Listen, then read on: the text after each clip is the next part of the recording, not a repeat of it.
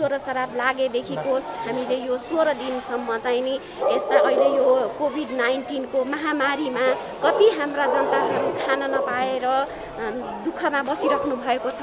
उहाँहरूलाई चाहिँ हामीले खोजी खोजिकन उहाँहरूलाई हामीले यो खानेकुरा चाहिँ वितरण गरिरहेछौँ। अहिले हामीले पकाएकै खानेकुरा फुड लगाएर हामीले अब राम्रोसँग कोही पनि यो कोभिड नाइन्टिनको महामारीमा चाहिँ कोही पनि भोगै नपरुन् हाम्रो देशको जनताहरू भन्ने उद्देश्यले हाम्रो स्वेकका सबैजना महिलाहरूले आफआफ्नो तर्फबाट संस्थाबाट होस् पर्सनल आफ्नो उसबाट होस् सबैजनाले हामीलाई सहयोग हाम्रो संस्थालाई सहयोग गर्नु भएर हामीले संस्थागत संस्थाको मार्फतबाट हामीले यो कोभिड नाइन्टिनको महामारीमा हामीले खाना वितरण गरिरहेका छौँ। अस्ति हामीले यो भदौ उन्नाइस गतेदेखि हामीले सुरु गरेका छौँ।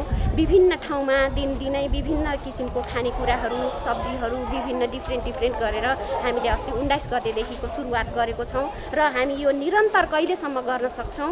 हामीले यो गर्ने प्रयास गरिरहेका छौँ। यसमा चाहिँ नि हाम्रो देशका कुनै पनि जनताहरू भोकै पेटमा बसे भन्न नपरोस् भन्ने हि- हिसाबले हामीले यो कार्य सुरु गरेका हौँ।